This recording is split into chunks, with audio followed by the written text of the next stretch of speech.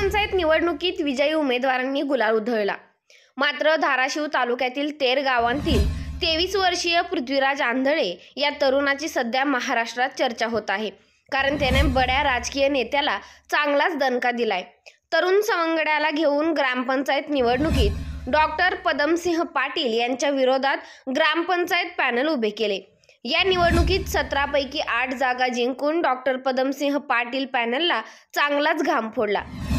या त्याच्या कामगिरीनंतर त्याच्या कौ त्याच्यावर कौतुकाचा वर्षाव होत आहे. राज्याचे विरोधी पक्षनेते अजित पवार खासदार सुप्रिया सुळे यांच्यासह अनेक नेत्यांनी या तरुणाला शुभेच्छा देताना त्याचे अभिनंदन केले. दरम्यान त्याने सोशल मीडियावर या तरुणाची जोरदार चर्चा आहे.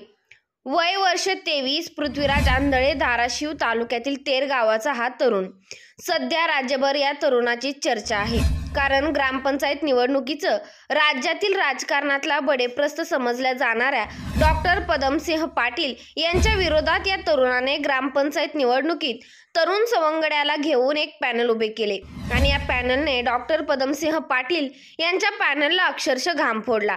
सतरापैकी आठ जागा यांनी जिंकल्या तर उर्वरित जागा अवघ्या काही मतांनी ते हरल्या आहेत.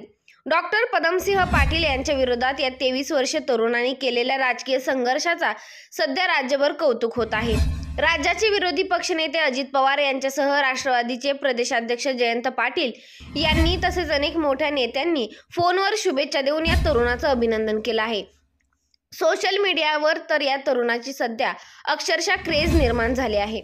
सध्या तो राज्यातील राजकारणात चर्चेचा विषय ठरतोय. नोटांचा बोलाबाला विजय घोषित केल्याने ग्रामस्थ संतप्त राज्यात सात हजारांपेक्षा जास्त ग्रामपंचायतीच्या निवडणुकींचा निकाल लागला.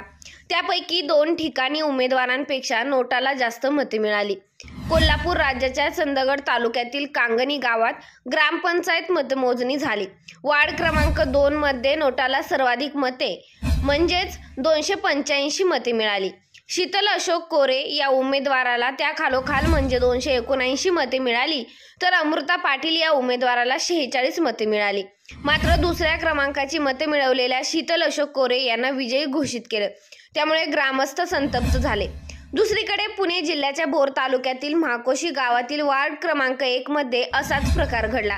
इथे नोटाला एकशे चार मते मिळाली. तर दुसऱ्या क्रमांकाची त्रेचाळीस मते ही रेखा विजय साळेकर या उमेदवाराला मिळाली. त्यामुळे गावात काही काळ गोंधळाचं वातावरण होतं. त्यामुळे काही वेळ निकाल राखून ठेवण्यात आला. नंतर दुसऱ्या क्रमांकाची मते मिळवणाऱ्या उमेदवार रेखा विजय साळेकर यांना घोषित केलं गेलं.